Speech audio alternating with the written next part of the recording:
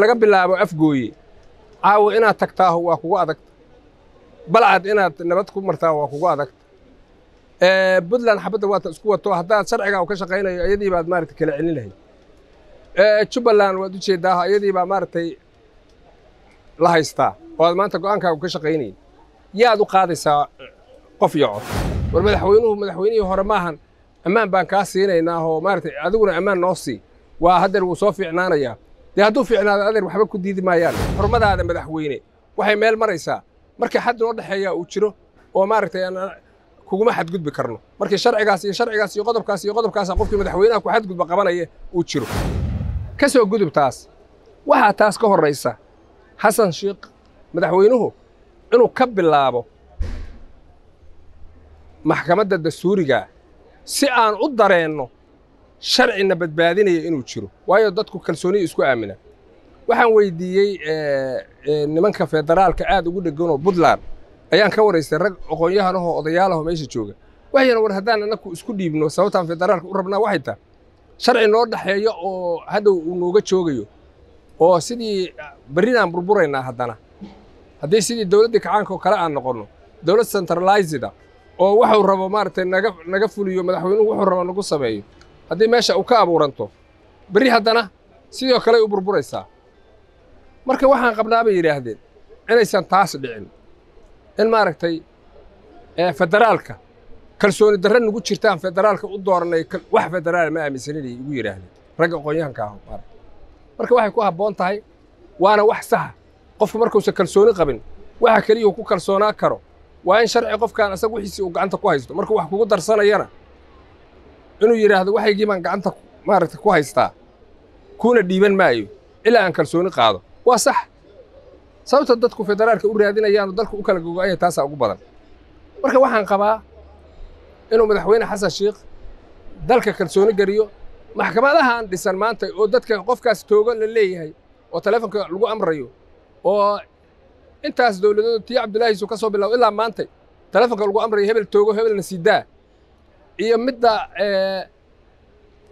haddeer corruptionka ee dadka lagu qaadayo oo dadki inaysan u sinayn ay aaminsan yihiin qof bilyamaad haddeer dhacaya guryo dhaca haysta aan la qabanayn.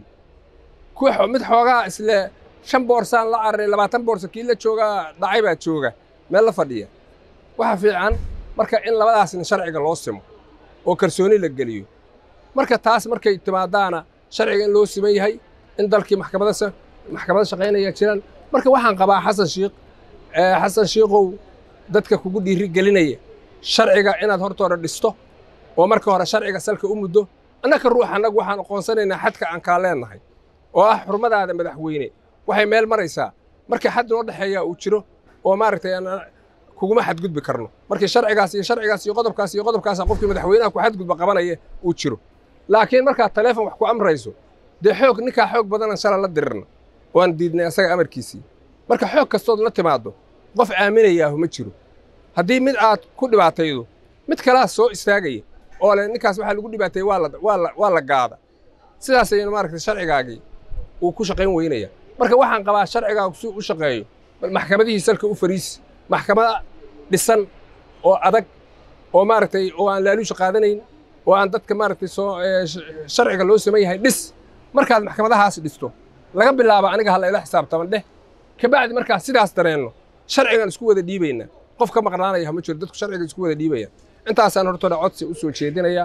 Taas waa ku ammaanaya bilowgaas uu haddeer bilaabay iyo haddeer maaragtay indhaha kala kala furay oo ah dhinacaas uu fiirshay mana ahan inuu ii dareemo maahan inkastoo rag dowladdiisa ka mida wasiirradiisa ka midu ay yidhaahdeen war madaxweynuhu madaxweynihii hore maahan ammaan baan kaa siinaynaa oo maaragtay adiguna ammaan noo sii waa haddeer wuu soo fiicnaanayaa.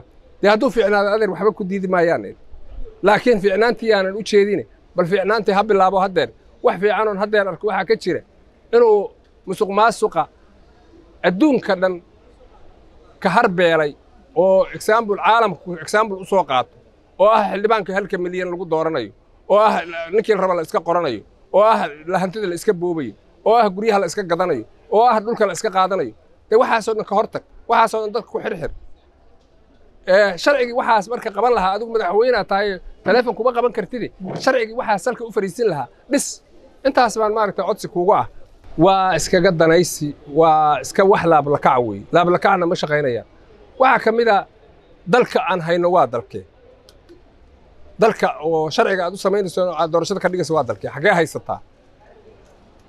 Laga bilaabo afgooye caawa inaad tagtaaho waa kugu adagta balcad inaad nabad ku martaa waa kugu adagta puntland xabadda waata isku wato haddaad sharciga u ka shaqaynayo iyadii baad maaragtay kala celin lahayd.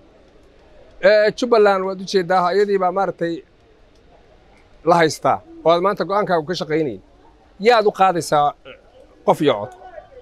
Waa wax dareen dareen lagu fududaaday wey wax dadkuna waa dareemayaano afar nin oo ayakii ruuxoosii bulshadii aan oggolaansho iyo sharciyad ka haysan inaad inta meel iskugu keento. Aad tidhaahdo aan qof iyo cod doorasho a dhigno. Waxay u arkaan dad xukun maroqsanaya inaad tihiin. Qof xukun maroqsanayana waa laga maroqsanayaa waa laga maroqsanayaa dawlad diyaarada leh oo taangiyaal leh oo maaragtay oo ciidan mutaraysida leh in lala diriray oo dadkii rideen. Horta hore waa inaad aamintiin. Waayo aragnimadaas horta hore qaata. Dawladdaas markii in lala diriray awooddaas leh lala diriray oo lagula diriray sharciyaddii ma fahamto oysan xurmaynayn horta hore sharciyada xurmaynta la'aanta sharciga taasaa horta hore saldhig u noqonaysa in lala diriro lala rido marka maalin walbaba dagaal kuma jiri karnee wixii aan ka nimid gadaal ha noogu celinine middaas ka istaaga. Waxaa weeyo keliya waxaad tidhaahdeen siday ku habboon tahay. Kow horta dadkii sidii loo heshiisiin lahaa ka shaqeeya dadaan heshiisayn wax ma wada doortaan. Idaacadaha muqdisho waxaa ka jira. Labaatan idaacadood oo aan afaafreeb lahayn oo waxay rabaan iskaga hadlayo oo soomaalida sii kala qaybinayo oo jafo-jafo u sii kala firdhinaya oo reer hebel iyo reer hebel fadhiga ka kaceen leh. Ka soo gudub middaas waxaa jirta waxa loo baxshay soomaalida u baxshay social media. Social media wax sax maahan social media wax la yidhaha ma jiraan.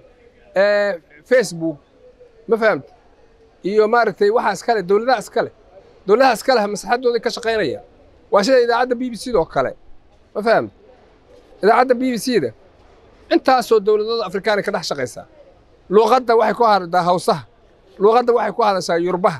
Luuqadda waxay ku hadashaa kiikuyada luuqadda lagu sii daaya waxaas waxaa loogu sii daayana waa maslaxaddooda inay uga shaqaystaan. Marka inaan innakana maaragtay idaacado kiniisada laga soo qaaday oo na dhibaataynay oo idaacaddii ruwanda oo kalea oo dadka islaaya isguba isbaaba'sha ah inta muqdisho laga reebo haddana la yidhaahdo waryo maskiina oo ma ogtahay idaacaddaas ka shaqaynaya in la xiro maaha? Waa in idaacadaha la xiraa. Waa in facebookga loo sameeyaa afaafreeb oo laga shaqeeyaa. Taasay igula muuqataa. Taasaa markaas jidkii dowladnimada in la qaaday muujinaysa